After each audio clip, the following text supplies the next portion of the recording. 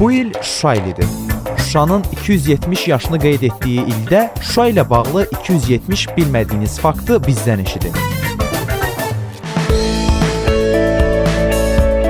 Tarixi Şuşa 17 məhəllədən ibarətdir. Onların hər birinin özünəməxsus tarixçəsi var. Həmin məhəllələrdən biri də Saatlı məhəlləsidir. Məhəllədə yaşayanların əcdadları türkdilli Saatlı tayfasındandılar. Onların Şuşaya Qazax zonasından gəldiyi güman olunur. Saatlı məhəlləsinin ən məşhur sakinlərindən biri Molla Pənah Vaqif olub.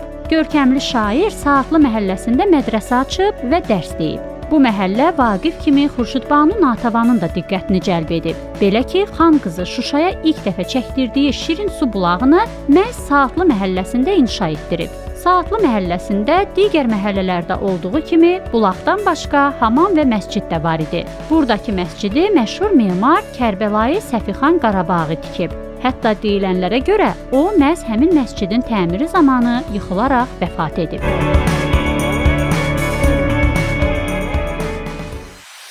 Müzik